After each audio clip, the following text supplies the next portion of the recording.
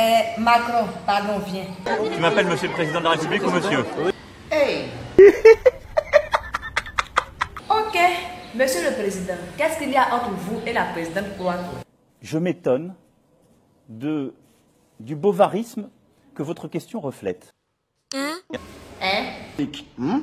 Comment veut dire cela? Non, Monsieur le Président, arrêtez de jouer avec les mots. On veut savoir ce qui se passe entre vous et la présidente de la Croatie. C'est du coup, du coup, vous avez grandi ensemble. On se pose des questions. Quand vous êtes président de la République et à l'étranger, vous êtes souvent accompagné, comme je l'avais fait. Et si la frustration de ceux qui n'étaient pas là leur conduit, les conduit à poser des questions de ce type, Ah, tu fais ça, ouais. Mais bon, j'ai dit, oh, vous dites que quand un président se déplace, il doit être accompagné, mais vous étiez avec Brigitte, ou bien vous avez changé d'avis. Vous ne voulez plus Brigitte, vous voulez maintenant la présidente de la Croatie. euh, je n'ai pas changé d'avis. Brigitte même là, elle dit quoi dans tout ça là?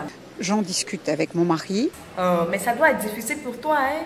La manière dont il est attiré par les femmes âgées, quand tu vois une femme âgée comme ça, ton cœur est mort en même temps. Et c'est pas si compliqué. Euh, Mais j'ai dit, oh, Et je tiens vraiment à vous remercier pour euh, la grande qualité dont vous venez de faire preuve. mais ah, S'il y a des questions de fond, je les prends toutes. Non, ça va, merci, c'est bon, c'est bon. Bonne journée, au revoir. Tag des Français, partage la vidéo et abonne-toi. Voilà, bon. Ok. Bye bye.